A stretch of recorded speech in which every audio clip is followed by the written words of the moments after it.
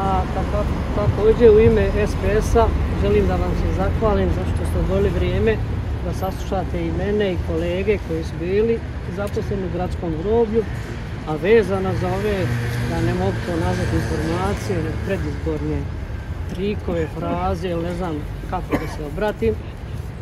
A, pokušao sam pokvat teze koje je gradonačelnik ili odlazeći gradonačelnik pokušao da iznese i iznio je.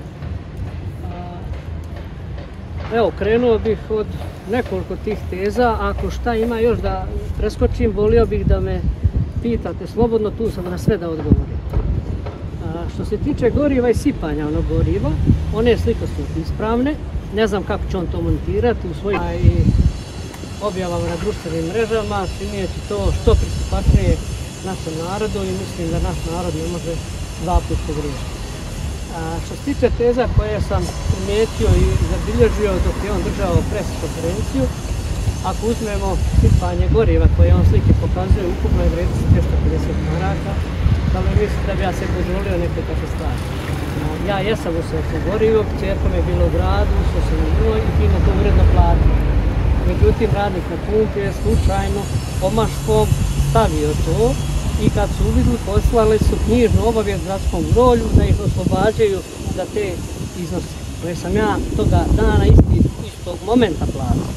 Međutim, novi direktor i njihova a, ekipa je zanemarila to, kao što a, jednostrano stavljaju neke dokaze, a zanemaruju predradnje, radnje koje su bili iza toga, a, gdje se upotpunjuje slika i zakonitost moga rada dok sam ja bio direktor.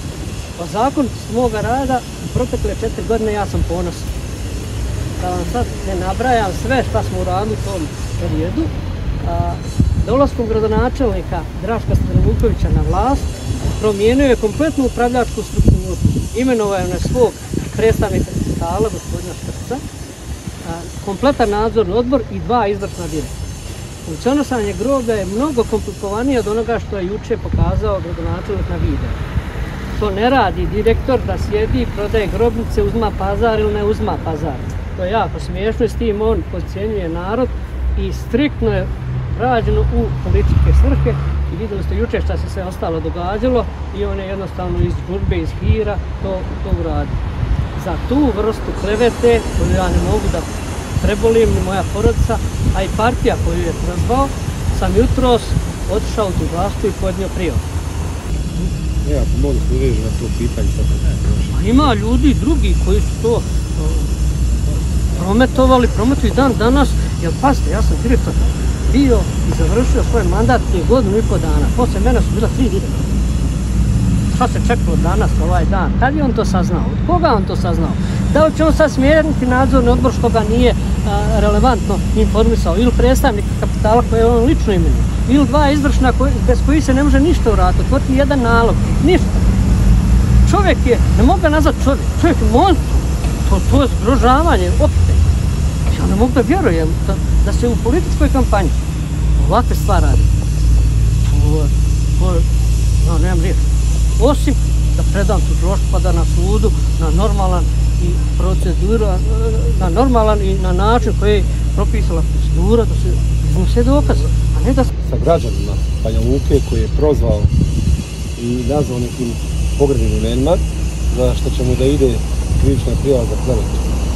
Što se tiče grobnice, svako ima pravo kao građanin i to je javni cjenovnik u gradskog groblja, to jest javno preduzeće gradskog, da ode, da se uvjeri u cjenovnik da neuređeno gradskom mjesto košta 1000 maraka. Neuređeno gradsko mjesto košta 1000 maraka po zakonu grobljima i pogrebnih zlatnosti, da se ne ponavljam svoje kolege, da se ne zdržavam, svako mora da ponudi groblju prodaj grobnog mjesta.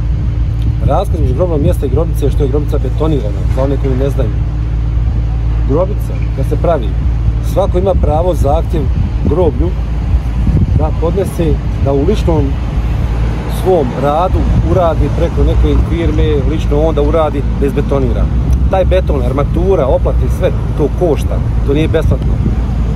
Dok sam bio direktor tamo, znam da minimalno oko 2000 košta sam beton i armatura i sve više od 2-2500 maraka košta.